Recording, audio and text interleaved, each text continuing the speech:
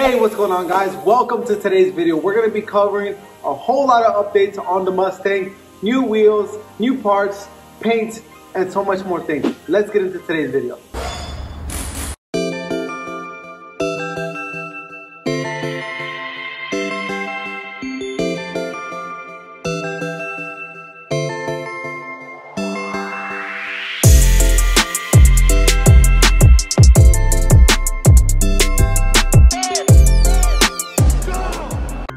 What's going on guys? Welcome to today's video. Today we're gonna be talking about a whole lot of suspension, uh, finishing up all the welding, painting the engine bay, and a whole lot of other stuff. Whole lot of Mustang stuff going down right now, guys. Welcome to the channel. Here we have the wheel off, and this is, this is the passenger side suspension. And it looks like it has new shocks, but the rest of it looks like it has seen better days. You got cracks everywhere. Uh, so we're gonna go ahead and replace the upper A arms, the lower arms, and all the bushings and the, uh, the ball joints and so on and so forth. Things like, uh, definitely has a lot of grease. So it's definitely been worked on here and there. You can tell with the new shocks as well. Uh, but since we're gonna go ahead and do the pass, the driver side, we might as well do the passenger side.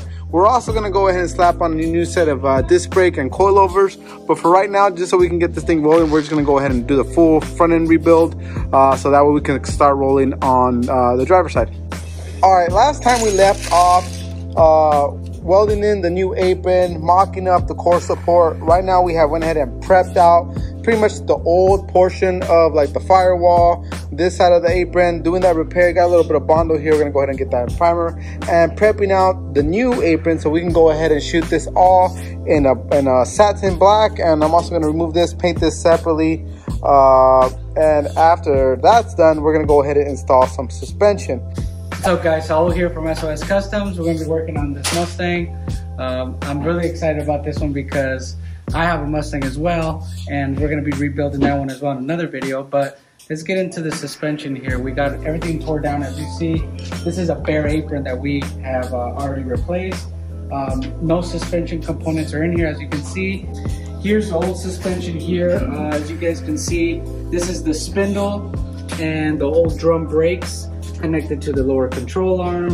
Um, you have the tie rod ends bolted into the um, idler arms and all the suspension components of the power steering, the pump, uh, the diverter valve for the power steering, uh, the other side of suspension, the sway bar still kind of connected.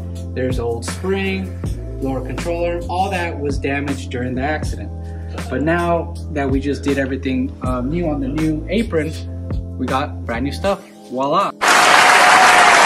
As you can see here, these parts are all new quality reproduction parts. So you got your upper control arm, comes loaded, meaning it comes with the ball, uh, upper ball joint and the spindle shaft here that goes in the uh, control arm. You got your lower control arm. All the bushings are pressed in, which is nice. You don't have to worry about pressing them in. So you got your bushing there. You got your new ball joint here. Um, these are all the sway bar bushing end links that are going to be going into the new suspension. Also over here is part of the sway bar, goes through there, holds it in its place. We got the uh, new pitman arm. As you can see, everything's pressed in. You don't have to worry about pressing in the old stuff. In the olden days, you would have to press everything out, heat it up, press a new piece in here. But now with the magic of internet and ordering parts, you can get everything all, you know, brand new. So um, these are the two uh, tie rod ends, left and right, uh, as well as the inner tie rod ends, which are here. Here are the sleeves that connect pretty much the two components together here.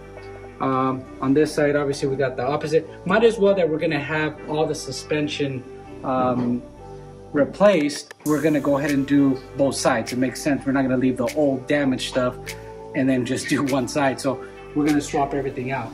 This is part of, of the car that we're still gonna be uh, welding onto the apron because this is the connecting part for the uh, tension rod, which is the bushings that go from, from the lower control arm that bolts to this component here.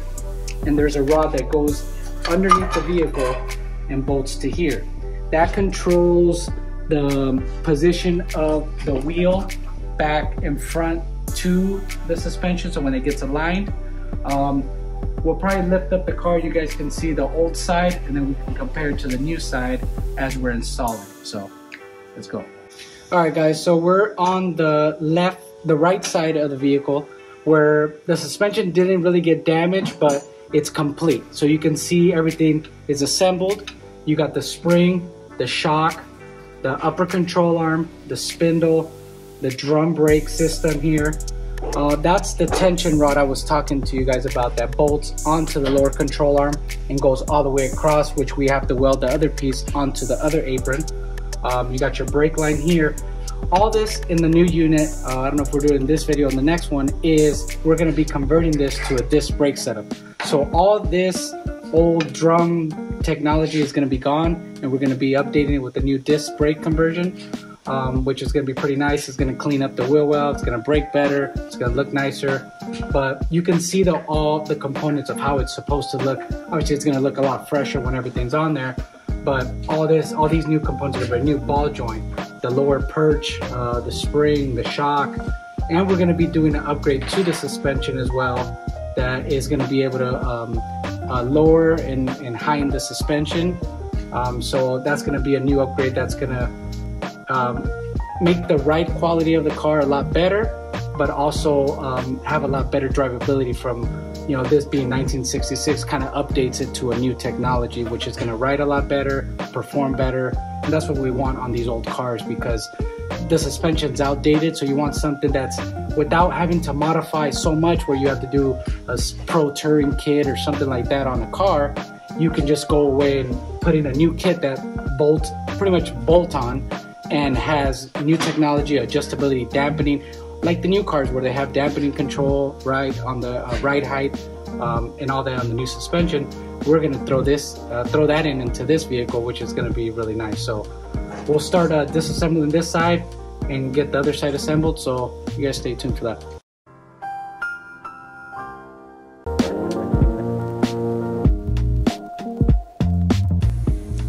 So since everything is ready to get the suspension installed and everything, I really had to make a decision because I really like the clean look of the apron like this. You know, I could have probably just painted it satin black or the color of the car.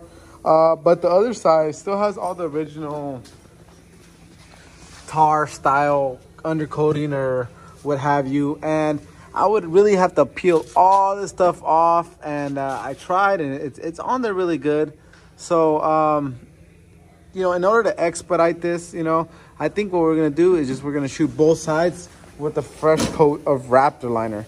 Uh, and that's gonna give us a way better look than what the factory stuff is. And it's also gonna protect the inside from rust. Uh, and it's gonna be really easy to clean off versus the paint that could get nicked and chipped and stuff like that over the years. So uh, we're gonna go ahead and take off the other fender right now remove the rest of the suspension and go ahead and shoot both inner aprons with Raptor liner.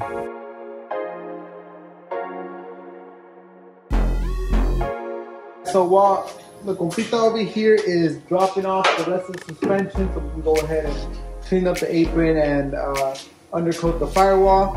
Uh, we did get a full front end suspension kit, but uh, well, front end rebuild kit for suspension, uh, but we did not get the tension, uh, the torsion rods in that kit.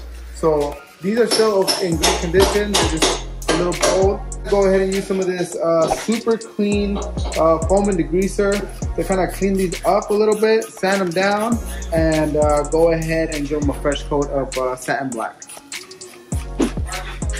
Dude, this stuff like really works. It like took everything off the first time around. Just want to be a little bit more thorough. Pretty happy with this stuff right here.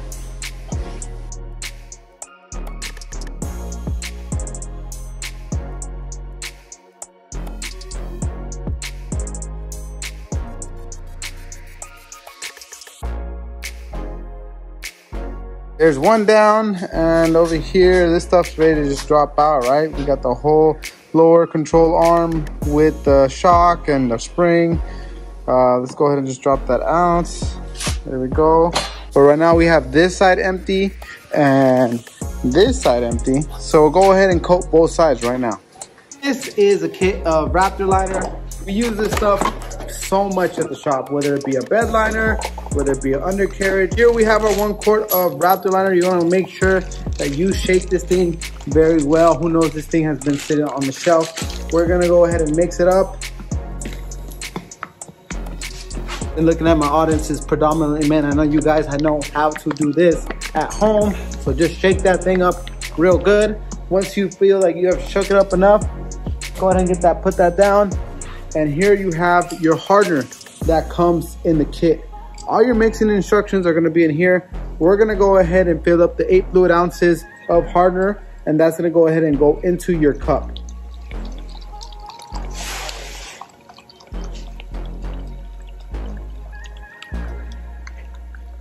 Okay, here we have our eight fluid ounces.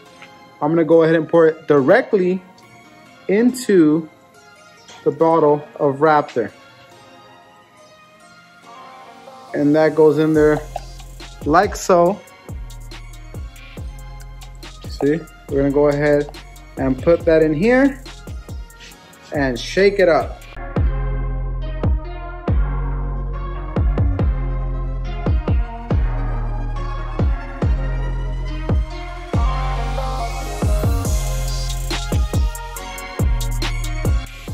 Once you had went ahead and mixed this up around enough, you're gonna wanna go ahead and get some protection because this stuff goes into your nose, your nostrils, your pores, stuff like that. You wanna go ahead and be protected.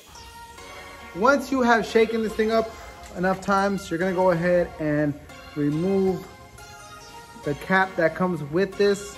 Go ahead and drop it in the box and put your gun directly in here. And you're gonna go ahead and screw that on there very nice and tight. Make sure it catches properly and you're gonna wanna go ahead and make sure it is nice and tight. Then from there, you're gonna go get ahead and get ready to spray. Put your mask on, safety first. Now before you go ahead and start spraying, I would recommend doing a couple test panels on some cardboard, stuff like that, just to see how you want your spray pattern to be. I've done this a couple times, so I know what I'm gonna be doing, but we're gonna go ahead and start spraying this whole side uh, light coats and then we'll go ahead and switch over to the other side.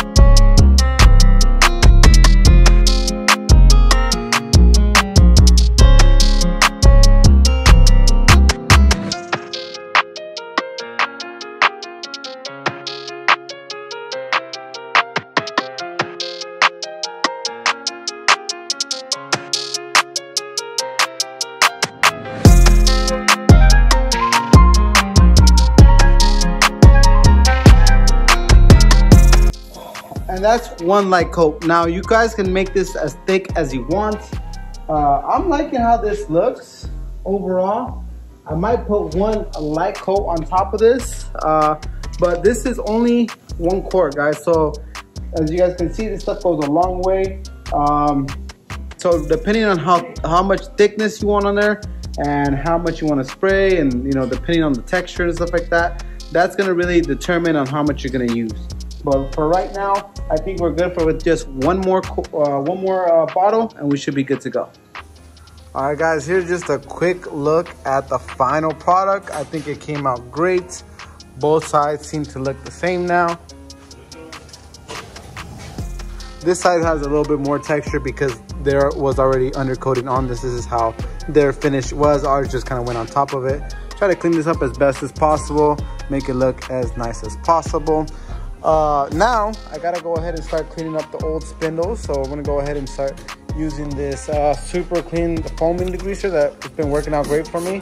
Kind of let that soak while I start cleaning up the rest of my mess. put away all my Raptor supplies. Many hours later.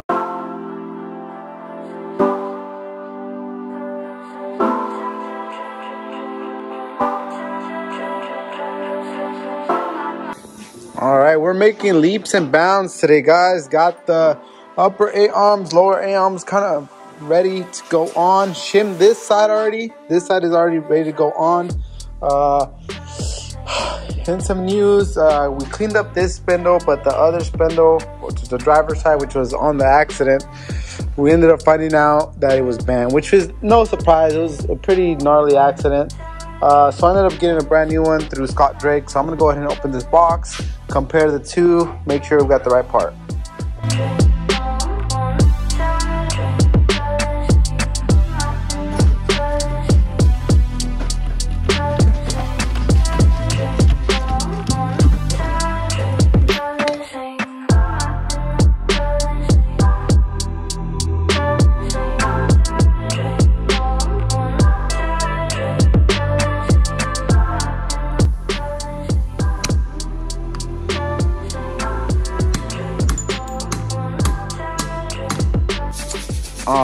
So here we have the tire finally on.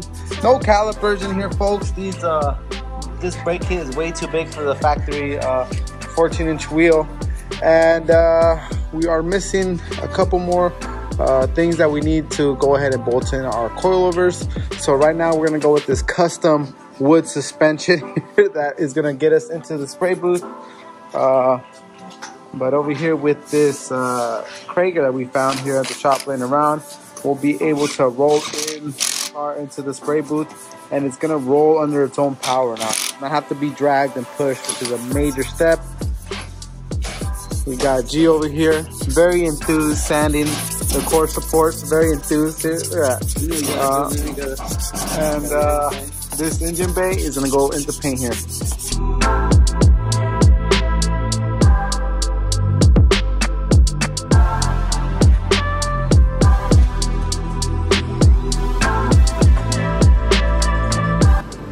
Okay, here we are with the 1966 Fastback Mustang. It is in the spray booth and this thing is ready for some sealer.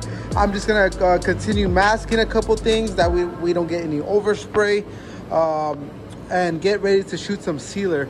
Now, based off what it looks like with the sealer, we will either shoot it tonight with some black base coat and clear coat with a little bit of the flattening agent.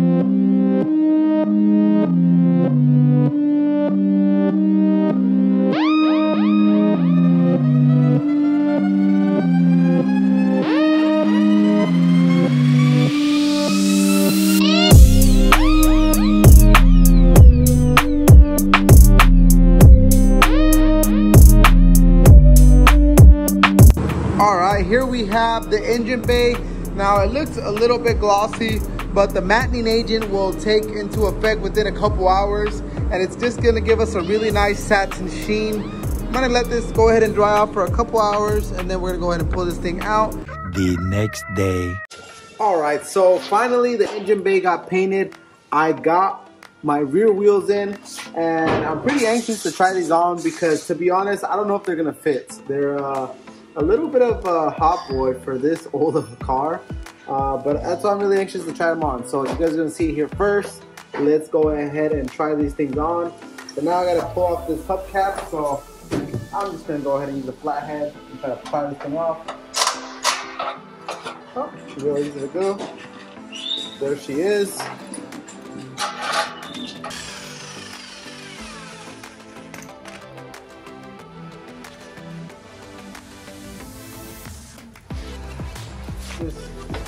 Little baby 14. Super small. We'll take a look at this rear section right now. Right now it still has the old drums. Uh, we are we do have a rear disc brake for the rear as well. Um, so for right now, I'm just gonna go ahead and do a rust test test fit uh, and see. I'm probably gonna have to roll these fenders, but there's not a lot of room to work with. So I'm really hoping that I didn't go off the deep end here because I don't really want to modify the body too much uh, to fit a set of wheels. So let's see what these things look like.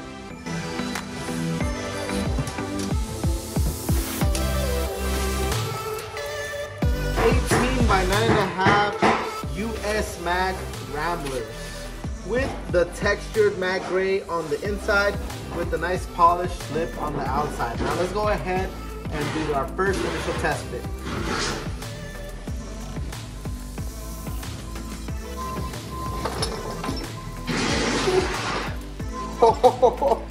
oh my gosh. I don't know guys. And why this does look so badass and I love how it looks, it's pretty spicy to be honest. I might have to do a little bit of body work. This might be this might be about an inch too too wide. But I really wanted to get the deep the deep lip on this thing. So I don't know. And I'm literally fuck. I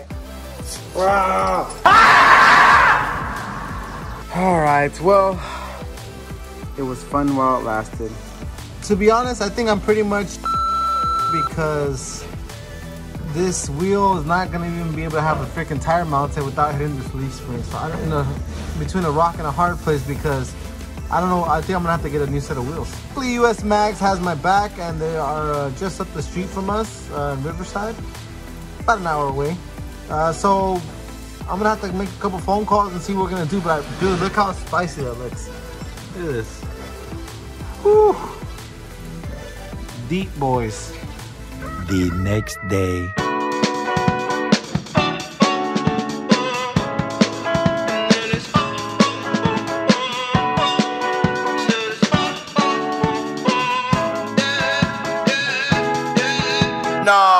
Guys. So today the goal is to finish up the front end. So we got all the rack and pinion that is pretty much all brand new and rebuilt, all the lines and everything like that. But pretty much everything on the car, guys, has been gone through.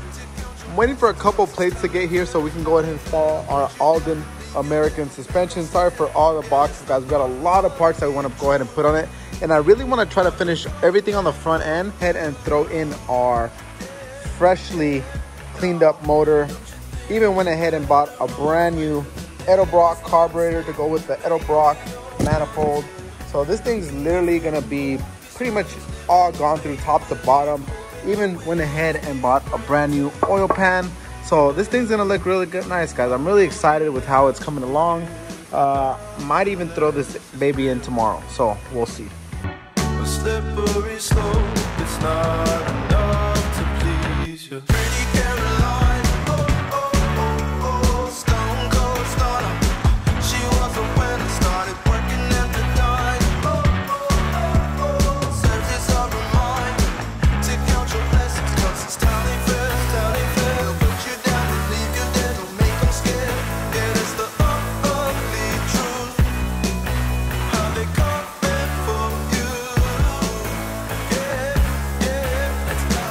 What's really cool is after cleaning up this AC compressor, uh, I figured out that this is an original part, guys. So this car actually really did come factory AC.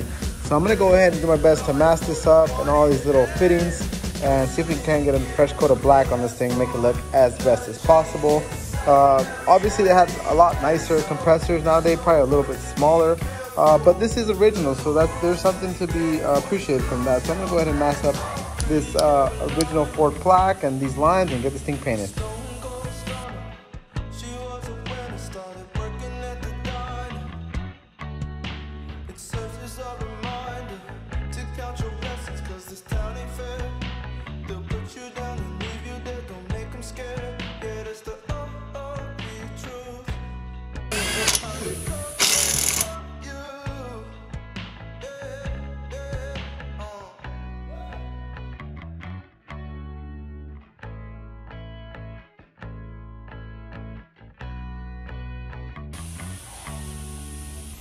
All right, guys, so we're gonna wrap up today's video with this kind of a brief overview of everything that we've done and everything that still needs to get done to get this thing one step closer. So far, we went ahead and swapped out the door real quick. We got a rough test fit on the 18 by 8 in the front, but uh, the suspension is not sitting where it needs to be right now, and it's awfully, awfully close to the wheel. Like, I don't even know if I'm gonna be able to fit a tire there, but it's not really in its right position right now, so we can't really say if this is gonna work or not. We got a lot farther on our disc brake conversion. We still gotta go ahead and do the rear stuff. Got a new sway bar in here. Uh, the new rack and pinion has been rebuilt along with all the inner and outer tie rods. All that has been replaced. Got the engine bay painted. Uh, and pretty much all that's left is getting uh, our coilovers on there. We're gonna go ahead and cover that. In the next episode, we're gonna cover our coilover, mounting the wheels and tire, and maybe getting a little bit more advanced on this portion of the quarter panel repair, replacing this rear body panel, quarter panel, and even getting the motor installed. That's gonna be one of the best moments in this build, hearing this puppy run. All right, guys, that's gonna wrap up today's video. Thank you guys so much for watching. Go ahead and hit that like and subscribe and notification button so you can get notified on all of our latest video updates. Here we have the motor going in, but you're gonna have to wait till next time to see that. I'm gonna drop our IG links right there. Go ahead and give us a follow, and that's gonna wrap it up for today. Thank you guys so much for watching. Here at SOS Custom, we got you covered. Peace.